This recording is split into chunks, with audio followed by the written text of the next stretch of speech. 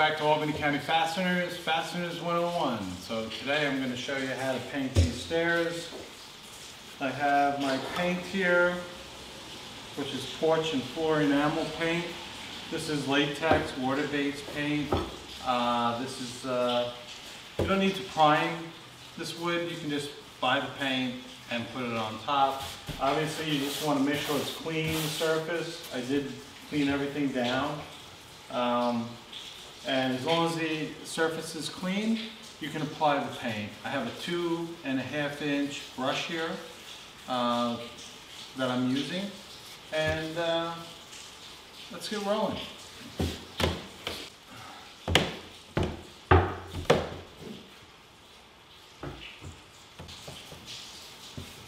Starting from the top, working my way down. Thank you. And a cup of coffee, of course. Makes the job go a little easier.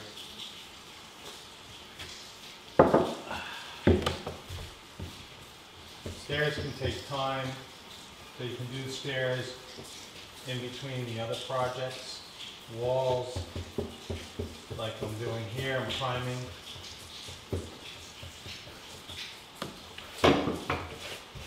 Another thing you want to do, which I didn't do yet, is mask the wall so you don't get any paint on it. So I'm gonna do that right now. Just gonna put masking tape on the wall, so it's easier for me to paint. And I have to do cleanup afterwards. So I'll just do this here. Take my starter. Just want to bring that right to the edge. And then you can finesse your way down. This is pretty no-brainer type. Masking. And that's just basically whatever's gonna stay white. Both sides. Supposed to just put my almond paint. Painting is always so much fun. It's good to have a rag around, in case you need it. To wipe these things up. Okay.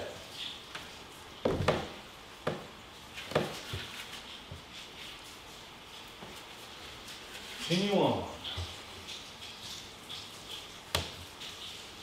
Now that I have tape there, this will make the job go a lot faster and easier. And I'm gonna go down the stringers first. These are called stringers, treads, risers. So I'm gonna do the stringers first and work my way from there. So like I said, stringers, which are the sides, treads with the step-ons, risers. We'll give this a couple coats. And Down the other side too.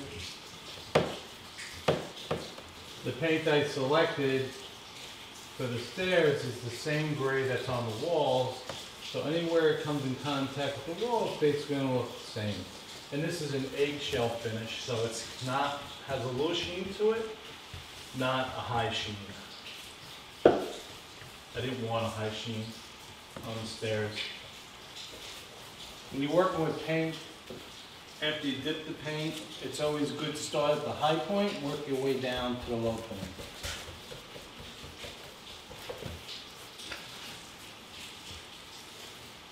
So you see I didn't take this out here because this part of the wall gets painted gray, not white. So I'm not worried about gray paint getting on there. Okay, at this point my stringers are done. I'm gonna go back to the top and I'm gonna work my way down, starting with the top part of the nosing tread and then down to the risers and treads, risers, treads, risers. And then first coat will be done and then we'll let it dry.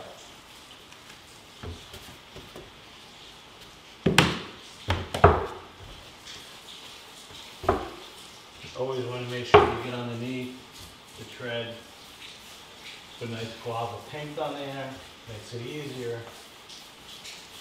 Even though there's a lot of corners with stairs, they go pretty quick.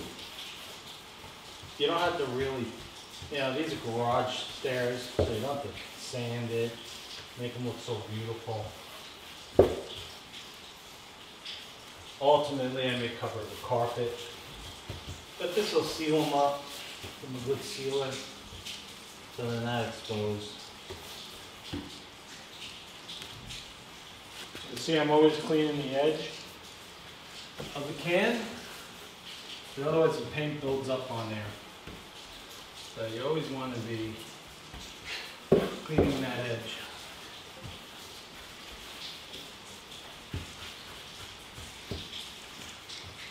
This is gonna dry really fast, uh, because the wood is just gonna absorb the paint. First coat, wood absorbs very quickly. And this is, uh, an old pine stair. Yellow pine is what's used on here. Sometimes I use ponderosa. Another species of pine. And you use a lot more paint in your first coat, and you'll see each coat after that, you use a lot less paint. Basically starts to seal up all the pores, and it gets faster in applying the paint. If you're not sure what kind of paint to use on your application, go to your paint store. Tell them what you're working on. They'll give you exactly what you need. Figure out the square footage of area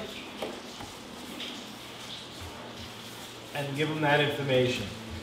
Whatever the can says on coverage, it's usually never enough. For whatever reason, when they tell you it's 500 square feet in the can, I don't know how they ever figure out those numbers because it never works out for me. And if you guys know, leave me a comment. Tell me how to get that square footage. Most likely you're gonna tell me to water it down, and when you water it down too much, then you put more coats on. That's the only way to stretch it.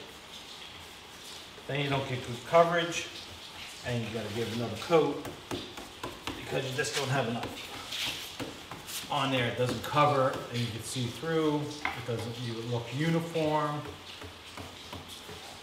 All right, down to the end here, looking good. And I just have the side to hit.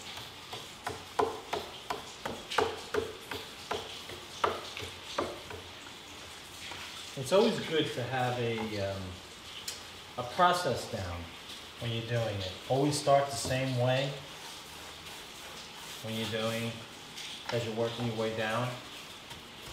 If you do that, you won't miss anything. I try to do that. Sometimes I get off course. Alright. So that's our stair. That's first coat. We'll let it dry.